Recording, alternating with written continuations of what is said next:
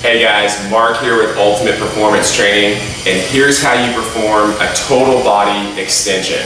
What you want to do is, you want to have your feet hip width apart, and you want to act like you're getting ready to take off doing downhill skiing. So you're going to have your hands overhead like this, and then you're coming to a squat with your back flat and your chest parallel to the ground.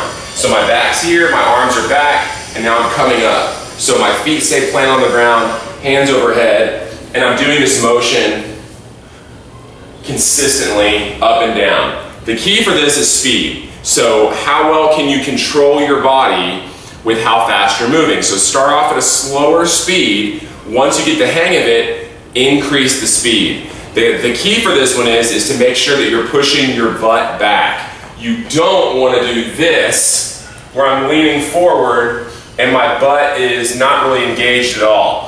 And basically I feel all the stress in my low back. I want to come here, push my booty back, and come up. And let and keep my back flat as I do the movement. So again, this is the total body extension exercise.